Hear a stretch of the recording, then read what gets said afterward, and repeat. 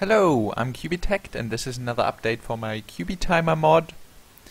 So, I've made a few changes. As you can see now, I can uh, I support uh, in-game time, real time. I can add splits uh, with particular times. If I go into this, uh, uh, into a world here, you can see that the time starts and I need to actually do a refresh first because uh, were all messed up because there was no save file before. Now the timer is kept at zero, but if I move my mouse or look in any direction or press any key except for F5, then the timer will start and counting down and you can see that the split this goes up. Uh, this uses the in-game time by the way for the splits but if I now wait a little bit, you can see it's green now, but it will turn red when you're going into um, greater time. And if I press sp my split button, then you can see it moves on to the next split. And the same goes on for there uh, if I continue.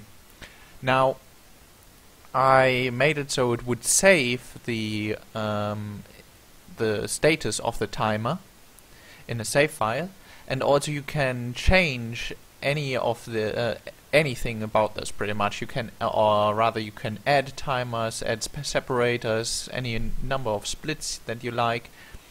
But I think I'm just going to show you.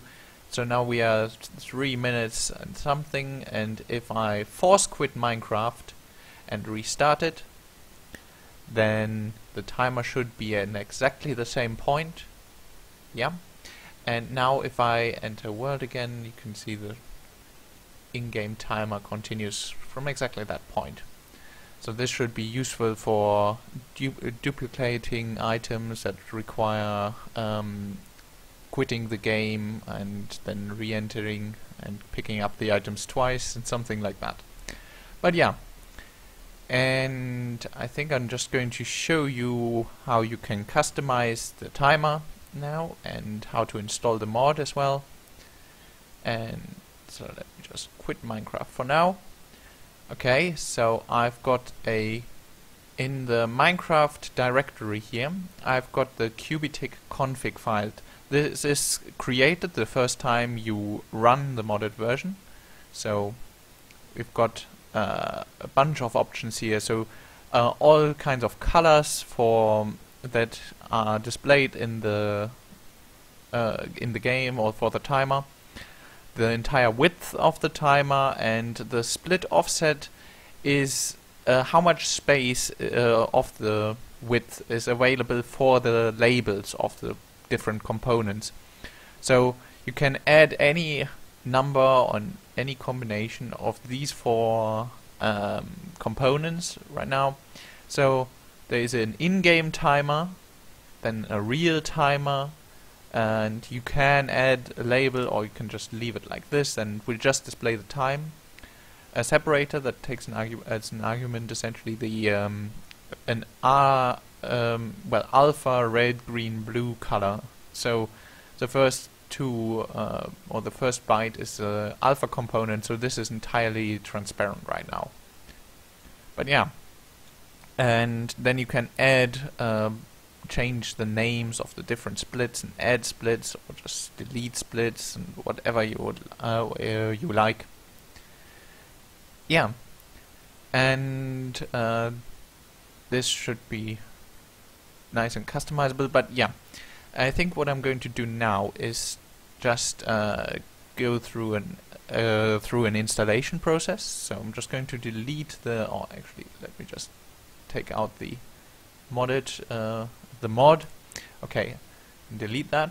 Okay, when you've got uh, download the Cubitimer uh, zip, then you can just copy um, the 1.8.7 uh, directory in your version uh, folder.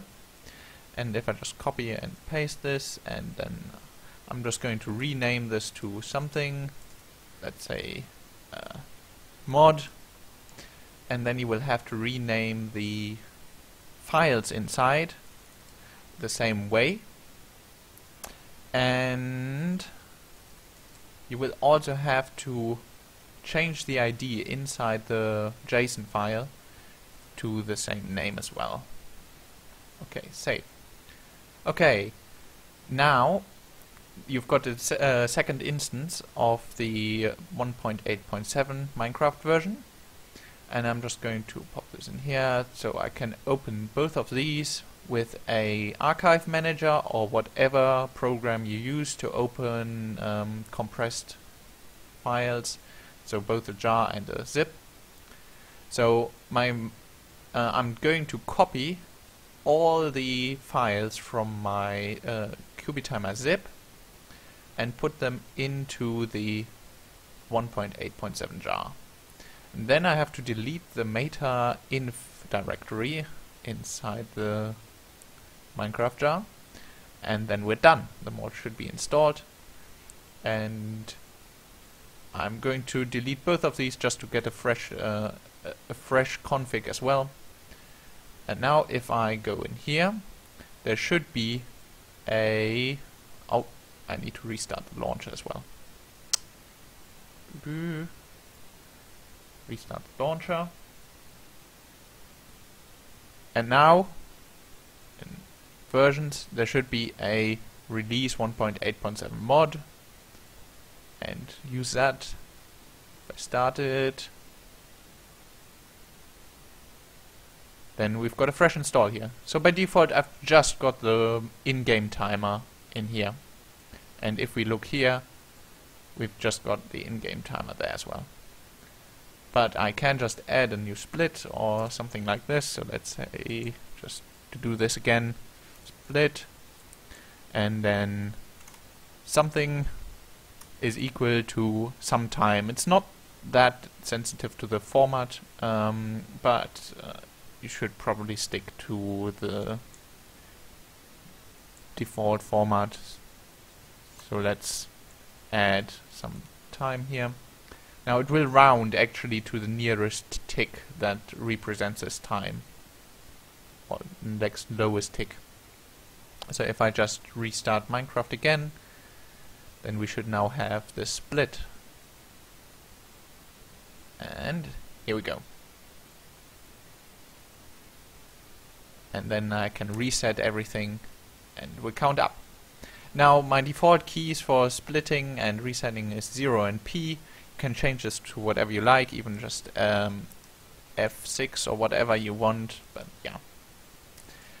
I think this is pretty much it. I thank you very much for watching and I hope this mod is useful to some of you and bye bye.